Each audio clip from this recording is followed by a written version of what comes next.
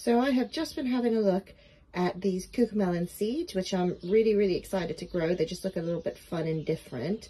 And two things, whoops, two things jumped out at me. One is that um, it's a perennial.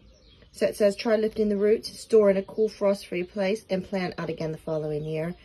I found that really surprising because I just assumed it was an annual like a cucumber or any other vine growing um, fruit, but it's not. And also that it can be uh, grown outside in a sheltered spot once it's hardened off. And I just kind of assumed again it was going to be a greenhouse um, plant, which I think probably is where I'm going to grow it.